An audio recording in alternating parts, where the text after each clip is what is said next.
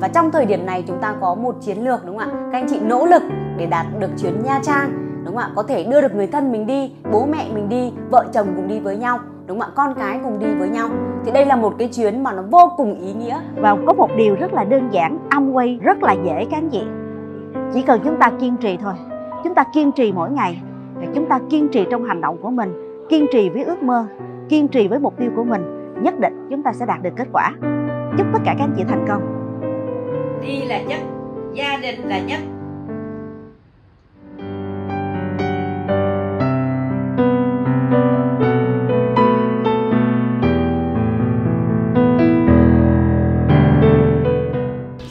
mỗi giây phút bên gia đình là một thời khắc ý nghĩa.